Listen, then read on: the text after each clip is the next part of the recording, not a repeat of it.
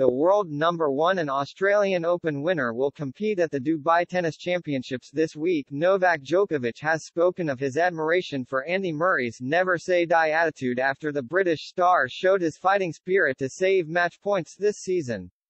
However, the rivals have been denied a chance to compete at this week's Dubai Tennis Championships after Murray pulled out as a precaution. Three-time Grand Slam winner Murray stormed up the rankings to World No. 52 during the Qatar Open last week, despite being beaten in the final by Daniil Medvedev. The former world number one had already overcome Thanasi Kokkinakis at the Australian Open after an epic five-set clash. The British star showed the same heart at the Qatar Open with two incredible comebacks sealing wins from the jaws of defeat. Murray saved three match points before beating Italian Lorenzo Sonego in the first round before rescuing five match points and winning the tiebreak to overcome Jiri Lehecka in the semifinal.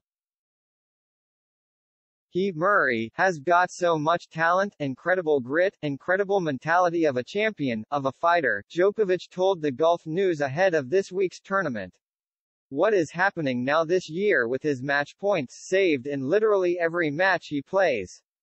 Murray's career looked over after a second hip surgery, raising fears he might never play in a Grand Slam tournament again.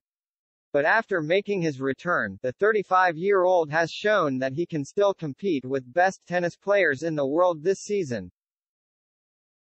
Djokovic added, he's constantly looking to improve and to get back to the highest level, which it seems like he's been doing. He's just rising in the rankings, getting better and better. I'm very happy for him because he's a great guy, respects the sport, works very, very hard, so very committed, he deserves his success. You have to note that he has an artificial hip in the way he moves and the amount of hours he has spent on the court since the beginning of the year. Particularly in Australia, is just something you must admire and say chapeau. In a bid to recover from his Qatar Open exploits, Murray will miss this week's Dubai Tennis Championships and plans to be back in competition at the Indian Wells, which gets underway next week, and the Miami Masters two weeks later.